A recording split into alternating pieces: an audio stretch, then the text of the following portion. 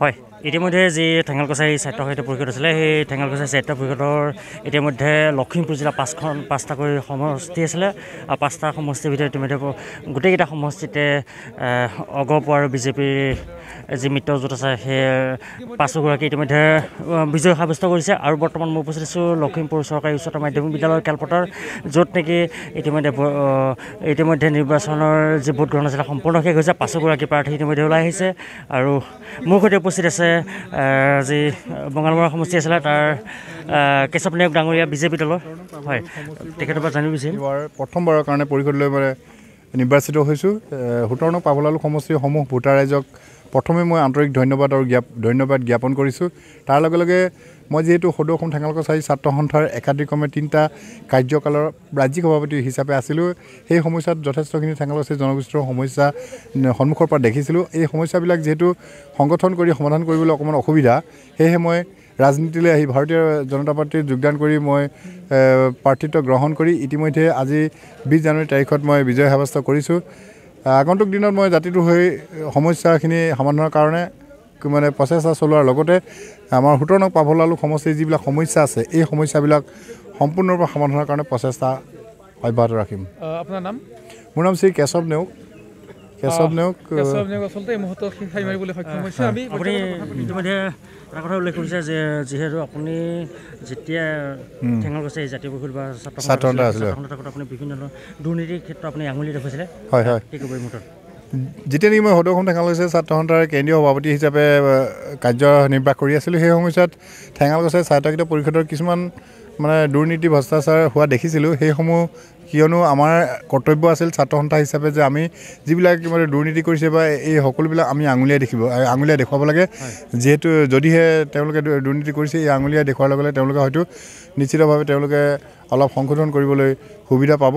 সেয়েহে দুৰ্নীতিৰ ক্ষেত্ৰত মই মান মাতিছিলোঁ। আৰু আগন্তুক দিনতো এই ক্ষেত্ৰত মই আঙুলিয়াই দিম বা দুৰ্নীতি নাইকিয়া কৰিবৰ কাৰণে চেষ্টা অব্যাহত ৰাখিম। হয় নিশ্চয়কৈ এই কেশৱ নায়ক ডাঙৰীয়া আছিলে যি ইতিমধ্যে বঙালমৰা সমষ্টিৰ যি পাভ সমষ্টি আছিলে সোতৰ নং পাভ সমষ্টিৰ কেশৱ নায়ক ডাঙৰীয়া তেখেতে ইতিমধ্যে প্ৰকাশ কৰিছে।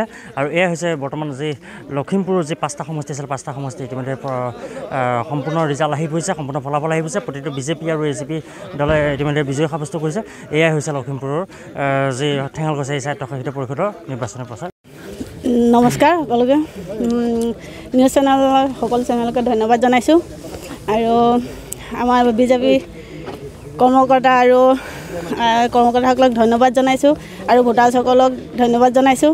আৰু সাংসদ প্ৰদান বৰুৱা নৱকুমাৰ দলে ডাঙৰীয়া আৰু মানৱ ডেকা তেওঁলোককো ধন্যবাদ জনাইছোঁ।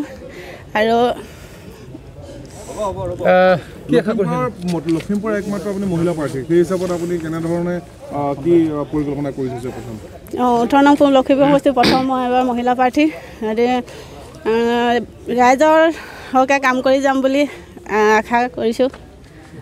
আপোনাৰ প্ৰথম প্ৰয়াস কি হ'ব? কি ধৰণে ৰাইজৰ মাজত পৰিব যাব? কৰিবলৈ ওলাই আহিছে। ৰাইজে সেৱা কৰি যাব। পৰা ঠেঙাল কছাৰী ৰাইজে ভোটদান কৰি মোক বিজয়ী সাব্যস্ত কৰিবলৈ সুবিধা কৰি দিলে। সোতৰ নং পাভ যিবিলাক জাতীয় সমস্যা আছে জ্বলন্ত সমস্যা আছে এই সমস্যাবিলাক সমাধানৰ ক্ষেত্ৰত পৰিষদত গৈ মই গুৰুত্ব প্ৰদান কৰিম। আৰু ঠেঙাল জনগোষ্ঠীটোৰ কাৰণে যিবিলাক সমস্যা আছে সেই সমস্যাবিলাক সমাধানৰ কাৰণে যৌথ প্ৰশ্নৰ চেষ্টা চলাম। কিয়নো মই একাধিক্ৰমে তিনিটা কাৰ্যকালত ঠেঙাল কছাৰী ছাত্ৰ সন্থাৰ সদৌ অসম ঠেঙাল কছাৰী ছাত্ৰ সন্থাৰ ৰাজ্যিক সভাপতি আছিলোঁ। যিবিলাক সমস্যা আছিলে সেই সমস্যাবিলাক মই দেখিছিলোঁ সন্মুখৰ পৰা। সেইকাৰণে সেই সমস্যাবিলাক সমাধানৰ কাৰণে জাতিটোৰ হৈ কাম কৰিবলৈ মই আগবাঢ়িম। আপুনি কিমান ভোটত জিকিছে? মই প্ৰায় বিয়াকেইটা ভোটত বিজয়ী সাব্যস্ত কৰিছোঁ। কাৰ ঘৰুৱা আহ, যি কিয়নো কি প্ৰাক্তন আমাৰ যিজন সদস্য আছিলে তেখেতৰ লগত তুমুল যুদ্ধ হৈছিলে। গতিকে তেখেতৰ লগত এ, বিয়াকেইটা ভোটত জয় হোৱাটো মই মানে যথেষ্ট সন্তুষ্ট হৈছোঁ। বৰ্তমান? ভাৰতীয় জনতা পাৰ্টীৰ পৰা। থানেশ্বৰ শইকীয়া নিৰ্দলীয় প্ৰাৰ্থী। যিগৰাকী প্ৰাৰ্থী আছিলে।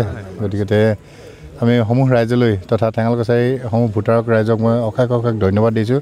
আৰু আমাৰ যিসকল ভাৰতীয় জনতা পাৰ্টীৰ কৰ্মকৰ্তা আছিলে সকলোকে মই অশেষ মোৰ তৰফৰ পৰা আন্তৰিক ধন্যবাদ জ্ঞাপন কৰিছোঁ। হয় আপুনি বিভিন্ন সময়ত দুৰ্নীতিৰ বিৰুদ্ধে মাত মাতি আহিছিলে। হয় হয়।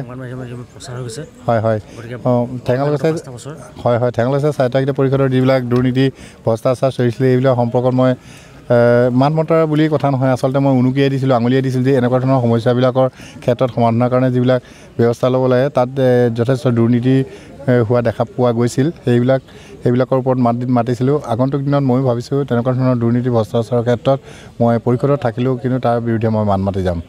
লাগে। হয়। আৰু আশা ৰাখিছোঁ অনাগত দিনত ঠেঙাল সম্প্ৰদায়ৰ লগতে আমাৰ জাতি দাঁতি কাষৰীয়া অঞ্চলসমূহ উন্নয়ন কৰিম। আপুনি কিমান ভোটত জয়লাভ কৰিলে? মই তিনিশ ঊনৈছটা ভোটত জয়ী হৈছোঁ। বিছ নং জকাই পেলোঁ হাৰমতি সমষ্টি। প্ৰথম প্ৰতিক্ৰিয়া কি হ'ব আপোনাৰ? কেনেকুৱা ধৰণৰ কি কৰিম বুলি পৰিকল্পনা হাতত লৈছে? মই আধৰুৱা কামসমূহ যিবোৰ একশ্যন প্লেনত যোৱা বছৰ আমাৰ ধৰি ৰখা কাম আছে সেইসমূহ কাম মই কৰি যাম। আৰু অনাগত দিনত ৰাইজৰ হকে যিসমূহ অতিকৈ প্ৰয়োজনীয় কাম সেই কামসমূহ কৰিম বুলি মই আশা ৰাখিছোঁ। হাতখন অকণমান দাঙি দিয়ক। আৰু ষ্টেল বাছ হ'ব